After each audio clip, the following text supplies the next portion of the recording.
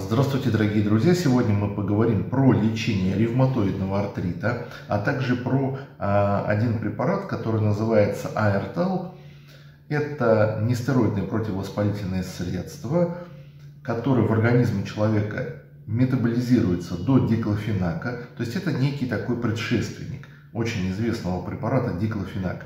А начну э, с клинического случая.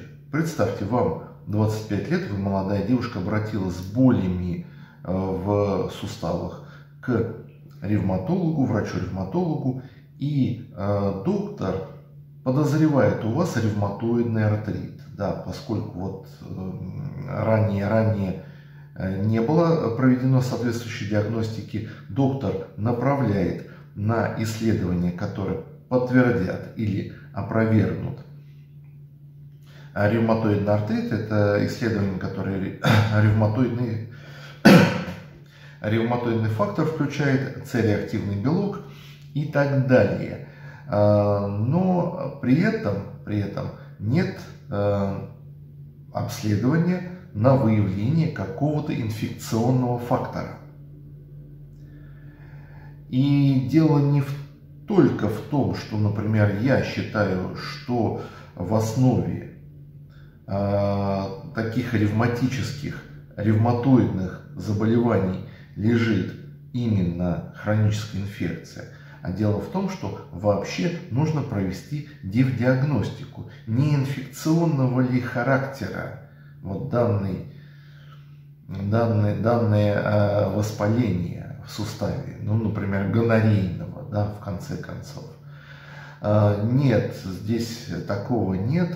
Э, направляют в отделение физиотерапии, ну, действительно, чтобы так вот инфекцию погреть, так скажем, условно, ну, позволю себе иронию такую, э, и назначают аэртал, да, вот с точки зрения убрать боль. Я понимаю, конечно, доктора, самая главная задача, э, чтобы клиент, пациент был доволен. Вот у него есть боли, мы боли убрали, все хорошо, да, главный критерий отсутствие э, жалоб у населения, так скажем.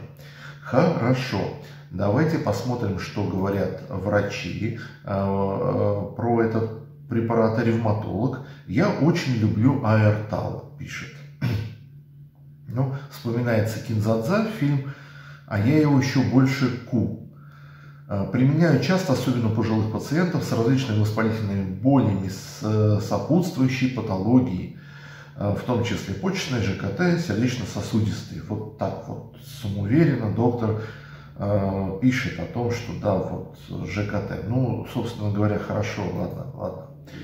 Да, значит, э, побочные действия аэротала согласно инструкции наиболее часто наблюдается осложнение со стороны желудочно-кишечного тракта. Соответственно, чем старше возраст, тем эта вероятность усиливается. Могут возникнуть язва желудка, прободение или кровотечение. Я э, говорю то, что в инструкции написано. Иногда приводящее к летальному исходу, особенно у пожилых пациентов. Вот эта фраза из инструкции. Но, тем не менее, вот э, доктор э, вот, так вот очень самоуверенно, что он относительно безопасен для такой группы пациентов, что-то относительно выводится из, из организма быстро и очень редко возникают различного рода аллергические реакции по моему опыту.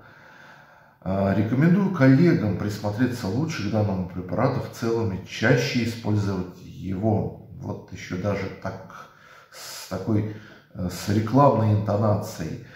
Возвращаясь к, нашему, э, к нашей пациентке, еще необходимо сказать об одном факторе.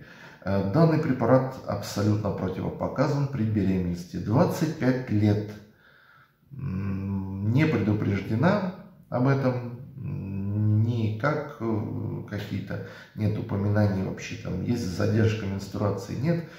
Э, вперед лечись.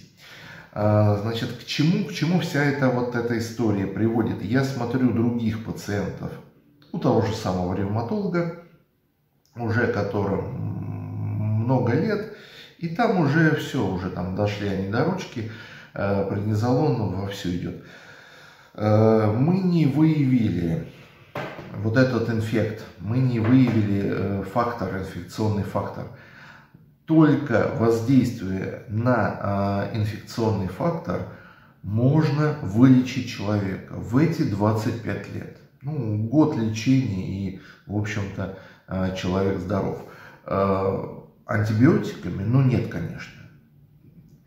Э, современная инфекция э, имеет э, такую мощную защиту от современных, опять же, антибиотиков, что надеяться на то, что мы и заведем наших, в кавычках, друзей, не представляется возможным.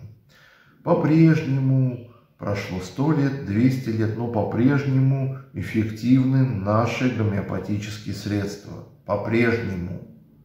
То есть к ним не формируется какая-то толерантность у инфекции, по-прежнему мы можем на них воздействовать, по-прежнему мы можем наших пациентов излечивать, именно излечивать, а не просто формировать им какое-то э, качество жизни, да, и, в общем-то, назначать этот аэртал, который, вот, опять же, другой доктор, ревматолог, кандидат наук, также назначает своим пациентам с болевым синдромом, короткими курсами, практически не было побочных эффектов, назначаю, э, но при этом назначает с ингибитором протоновой помпы. Но в инструкции, кстати говоря, об этом не сказано ничего, что надо назначать именно с ингибитором протоновой помпы. Устраивает и цена, и качество, и удобен для применения с ревматическими заболеваниями. Э, вот э, как, какой обзор вышел на данное лекарственное средство и на лечение ревматоидного артрита э, в целом. Благодарю всех за внимание.